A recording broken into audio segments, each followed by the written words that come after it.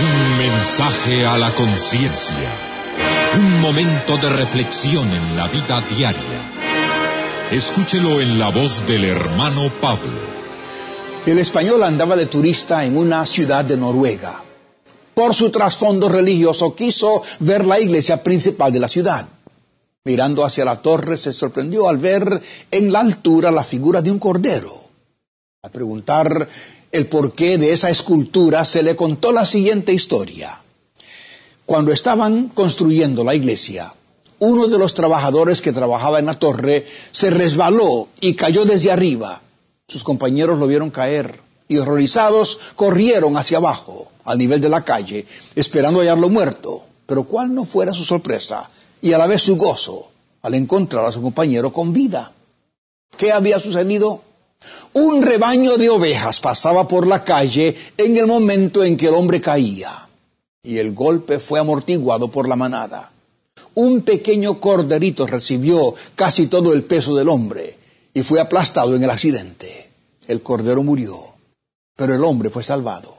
En memoria del corderito esculpieron su figura en, el lugar exacto desde donde el trabajador había caído. Amigo, ¿sabía usted que la primera presentación pública que se hizo del Señor Jesucristo al mundo fue como cordero? Quien hizo la presentación fue Juan el Bautista y la hizo con las siguientes palabras. He aquí el cordero de Dios que quita el pecado del mundo.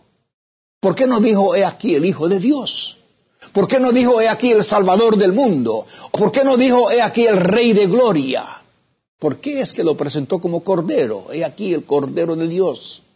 Hay, mi amigo, una fuerte razón. Es que Jesús, tal cual el Cordero de la antigua Pascua judía, vino a morir una muerte sustitutiva. Vino a dar su vida para que otros viviesen. Él mismo lo dijo en estas palabras eternas. Yo no he venido para ser servido, dijo el Señor, sino para servir y dar mi vida en rescate por muchos. Nosotros, amigo, la raza humana, hemos escogido el camino del pecado y estamos condenados a muerte eterna. Pero Jesús, el Cordero de Dios, recibió sobre sí el golpe de nuestra rebelión.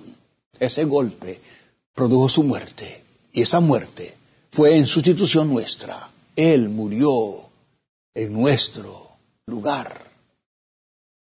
¿Podremos, amigo, negarnos al que dio su vida por nosotros? Yo no lo he podido hacer. Yo lo he buscado como mi Salvador y quiero servirle todos los días de mi vida.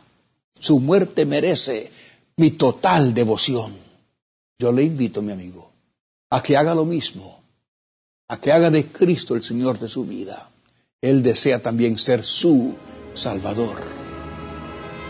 El primero de julio del 2005, la Asociación Hermano Pablo celebró 50 años de presencia continua en los medios de comunicación.